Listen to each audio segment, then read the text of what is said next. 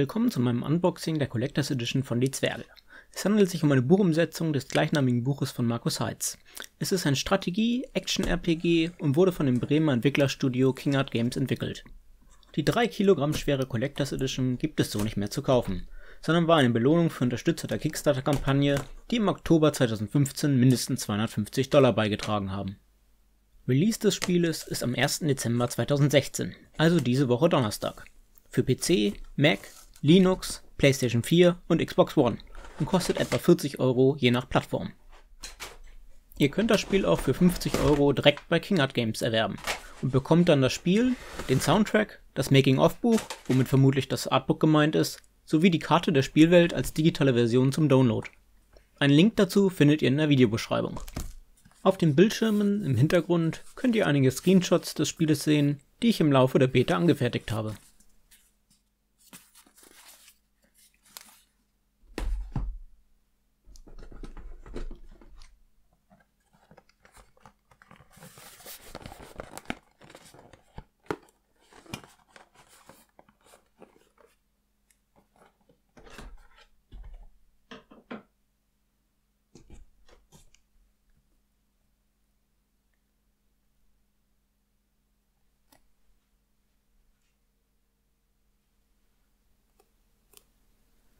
Diese schöne bedruckte Box aus Pappe, die das Spiel, den Soundtrack, eine Dankeschön-Karte, die Karte der Spielwelt gedruckt auf Stoff, das Artbook und eine Tabletop-Figur enthält, ist 22 cm breit, 27 cm hoch und 6 cm tief.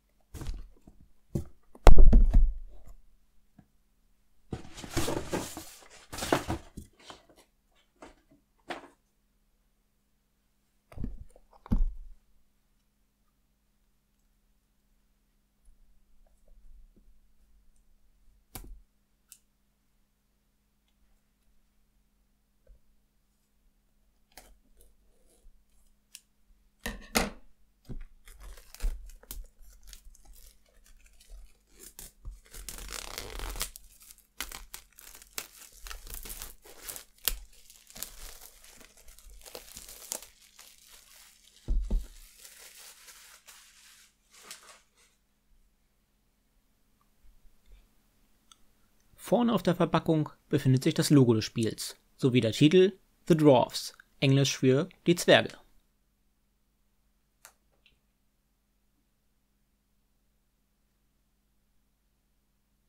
Auf der Rückseite befindet sich ein Artwork von Giselbart Eisenauge, Zwergenkönig des Stammes der Fünften, der im ersten Level, tausend Jahre vor der Haupthandlung des Spieles, gesteuert werden kann.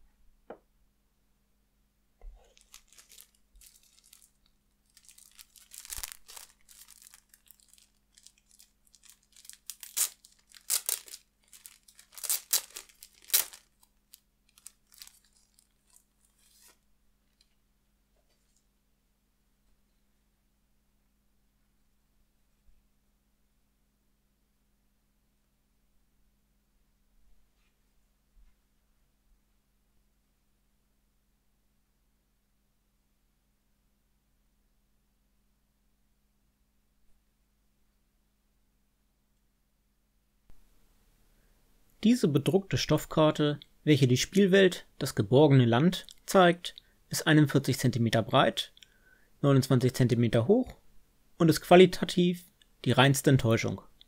Der Druck ist nicht besonders schön ausgefallen und die Ränder sind stark ausgefranst. Darüber hinaus hat sich bei der Beschriftung eines der Orte ein Tippfehler eingeschlichen, den man aber glücklicherweise aufgrund des schlechten Drucks nur in der digitalen Version deutlich erkennen kann, welche der Entwickler im Gegensatz zum physischen Gegenstand leicht korrigieren kann.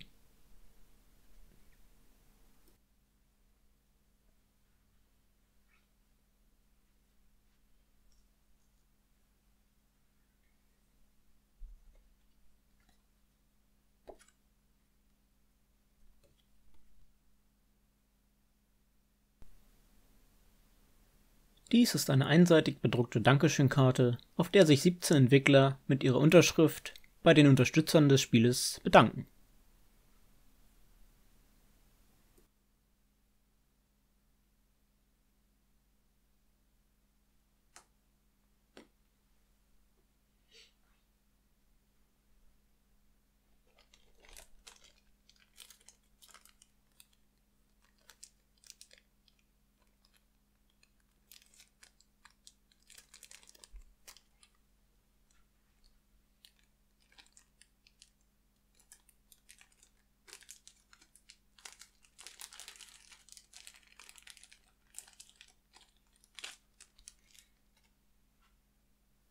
Dieses graue Stück Kunststoff ist eine etwa 4 cm große Tabletop-Spielfigur des Zwerges Tungdil, dem Protagonisten des Spieles.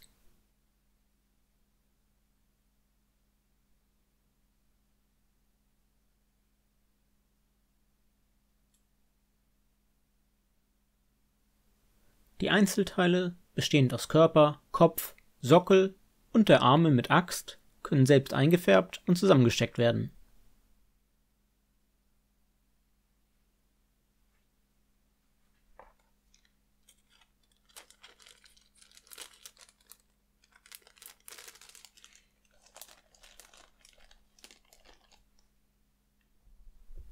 Kommen wir nun zum Spiel selbst. Dieses befindet sich in einer schönen Steelbook-Hülle, die uns neben Gieselbart, den wir schon auf der Verpackung sahen, auch noch Tungdil und Boindil sowie einige Orks zeigt. Die Hülle enthält zwei Installations-DVDs, den Soundtrack als Audio-CD und eine Kurzanleitung zur Installation. Wie alle Collectors Editions von Die Zwerge handelt es sich um die PC-Version, als Standalone ohne Steam und ohne DRM. Konsolen, Steam und GOG-Versionen gibt es für Bäcker nur als digitalen Download auch wenn inzwischen gepresste Versionen im Einzelhandel zu erwerben sind. Auf den DVDs sind 10 GB Daten gepresst, die installiert etwa 17 GB in Anspruch nehmen. Der Day One Patch Version 1.1.2 schlägt mit knapp 100 MB nicht wirklich ins Gewicht. Enthalten sind neben dem Spiel auch noch digitale Versionen der Kurzanleitung, der Stoffkarte und dem Artbook, zu dem wir gleich noch kommen werden. Der Soundtrack des Spieles umfasst 20 Tracks und wurde komponiert von Benny Oschmann, der auch schon andere Spiele von King Art Games komponiert hat. Eingespielt dafür wurden einige ausgewählte Songs von dem Budapester Art, Orchester und Chor. Highlight des Soundtracks ist meiner Meinung nach das Werk Children of the Smith, das King Art Games zusammen mit der Metalband Blind Guardian produziert haben. Dieser Song wird sehr wahrscheinlich ingame in der Location Wackenstein zu hören sein, sowie in den Credits des Spieles, in der jeder Unterstützer des Spieles namentlich erwähnt wird, mich eingeschlossen.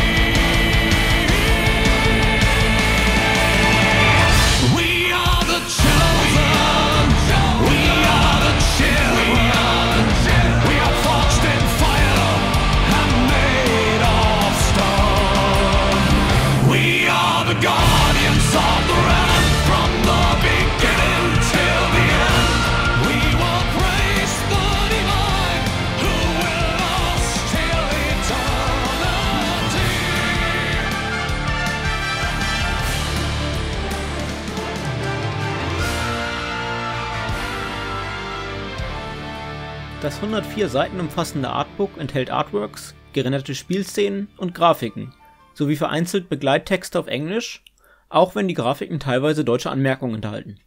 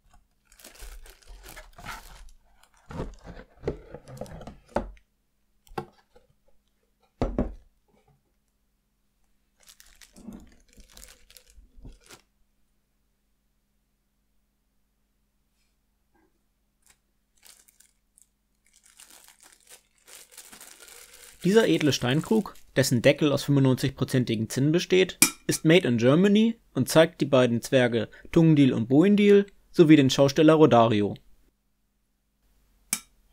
Laut Kickstarter dürfen sich 251 Unterstützer darüber freuen, ihr Lieblingsgetränk, also Bier und Met, daraus trinken zu dürfen.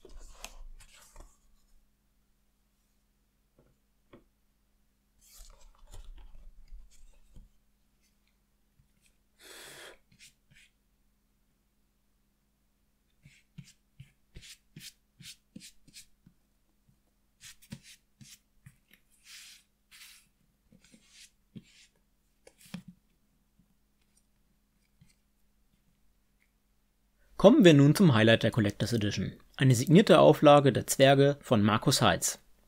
Sie ist gebunden in einem Lederumschlag und besitzt metallene Eckverzierungen. Von außen ist das Buch verpackungsbedingt von einigen weißen Partikeln bedeckt, die sich aber relativ leicht abwischen lassen. Ob es sich um Echt- oder Kunstleder handelt, weiß ich leider nicht. Über diese Sonderausgabe dürfen sich 115 Bäcker der Kickstarter-Kampagne erfreuen, teilweise auch in Englisch, je nachdem aus welchem Herkunftsland die Personen kommen.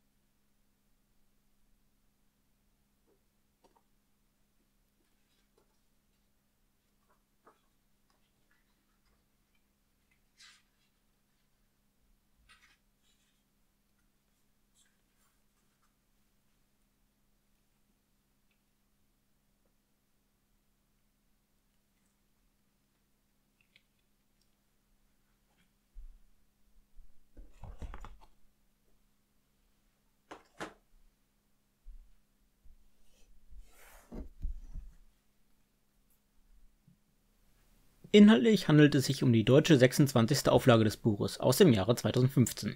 Im Vergleich zu meiner 11. Auflage des Buches aus 2007 gibt es keine starken Größenunterschiede. Das Papier im Inneren ist ebenso dünn, fühlt sich aber im Vergleich etwas rauer und hochwertiger an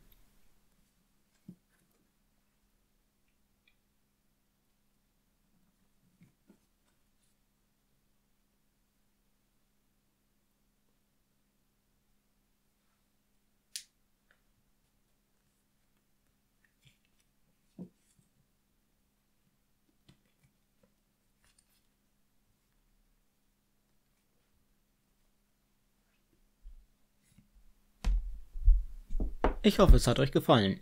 Wenn ihr mehr von dem Spiel sehen wollt, empfehle ich euch mein Surround Gaming Video, in dem ich die Beta 1 innerhalb von 6 Stunden auf drei Bildschirmen komplett durchspiele.